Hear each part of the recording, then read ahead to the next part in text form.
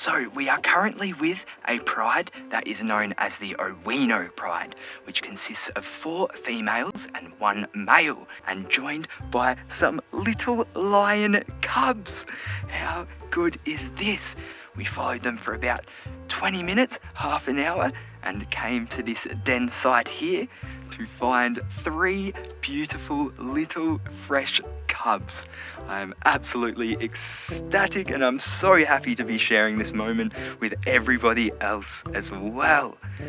How beautiful is this? Absolutely unreal sights here in the Masai Mara. Oh, so, so cute.